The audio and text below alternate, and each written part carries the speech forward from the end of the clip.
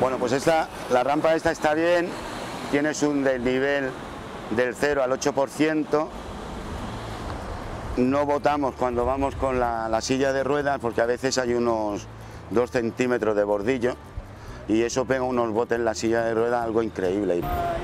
¿Ves? Aquí hay una de las cosas que nos encontramos habitualmente en nuestros vados, que es que te viene un vehículo y nosotros tenemos una placa de identificación que es de la discapacidad para, para que nos podamos aparcar en los vados de discapacitados. Cuando te viene ahora, por ejemplo, viniera el propietario no podría aparcar porque tenemos un vehículo delante que te está cogiendo la mitad del vado.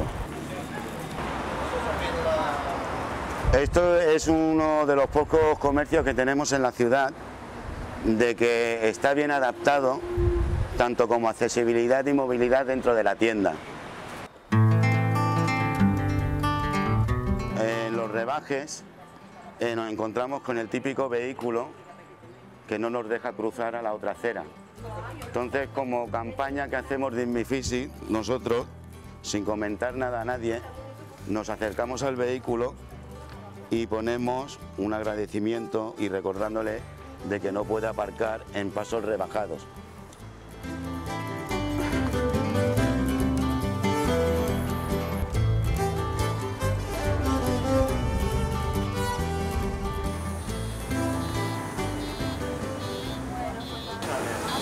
La rampa manual es la mejor que hay en el, en el transporte público, puesto que la hidráulica son las que más fallan. Se llegó a la determinación de poner la manual porque es, mm, vamos, en cualquier autobús podemos coger que es el 99%.